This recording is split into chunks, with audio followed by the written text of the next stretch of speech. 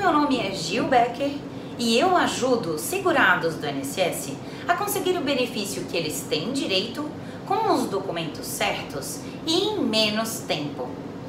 Hoje nós falaremos sobre a revisão do benefício do INSS depois que já passou 10 anos.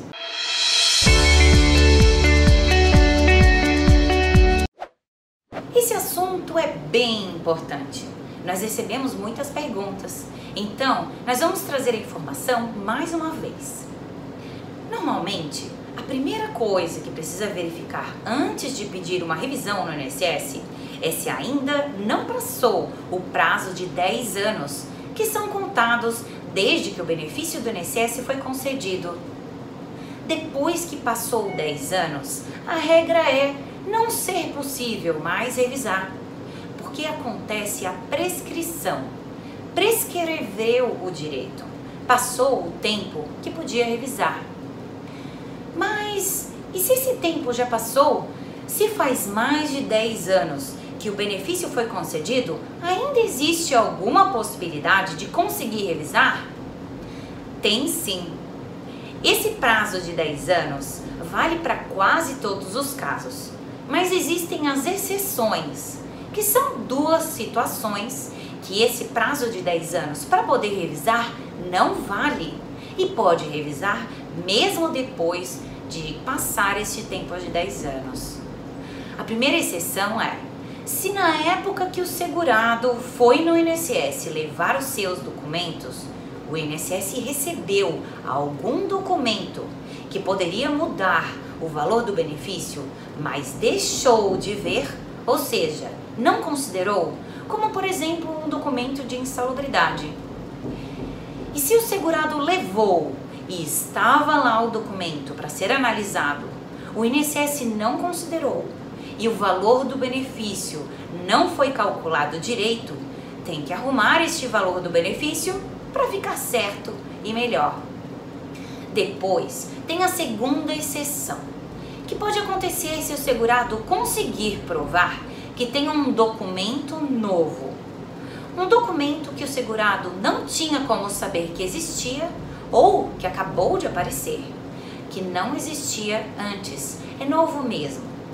Nestes casos, o documento não foi apresentado quando o segurado pediu o benefício, porque o documento só apareceu agora, não existia ou não se tinha conhecimento dele antes.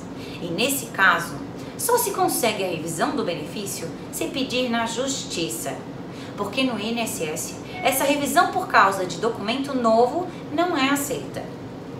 E na justiça é uma ação nova e não tem garantia do resultado que vai dar.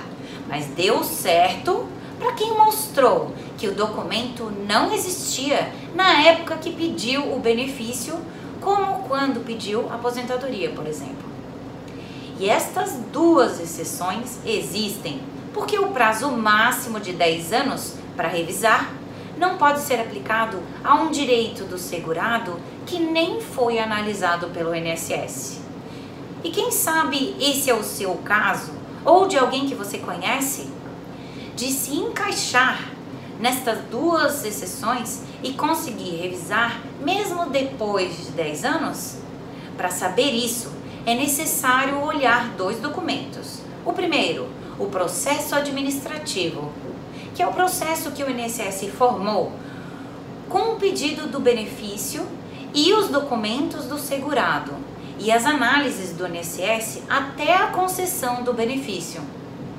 Esse documento, o segurado pode requerer uma cópia lá no INSS. E o segundo documento que precisa olhar é a carta de concessão do benefício, que é a carta que o segurado recebe quando o benefício é concedido. E tem lá também os valores que foram considerados para chegar no valor do benefício e também o segurado pode requerer uma segunda via desta carta lá no INSS. Saber isso e procurar um profissional da sua confiança pode ajudar a ver se ainda dá para pedir a revisão do benefício para o INSS de, mesmo depois que já passou mais de 10 anos. Ficou uma dúvida? ou quer saber mais? Envie sua pergunta para o e-mail que aparece no final.